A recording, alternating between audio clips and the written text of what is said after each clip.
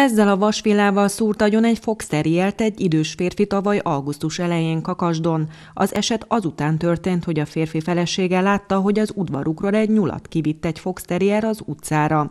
Másnap a férfi a kertjében dolgozott, amikor az utcán meglátott két ugyanolyan fajtájú kutyát, mint amilyen elvitte a nyulát, ezért megkergette őket.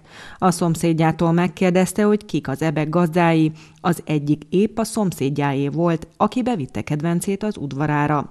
Ám a másik Fox Terrier is követte őket, ezért az igen dúlt állapotban levő vádlott is utánuk ment, és többször megszúrta a kutyát vasvillával. Majd a tetemet elásta a kertjében.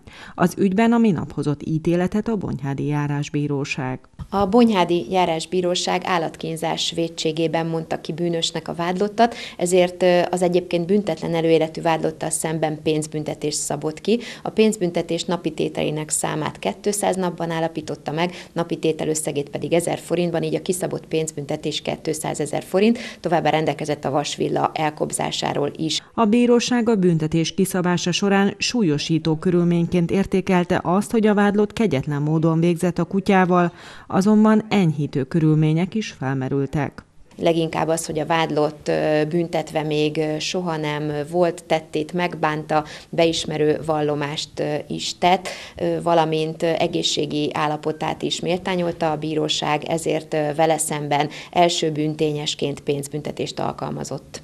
Az ítélet jogerős.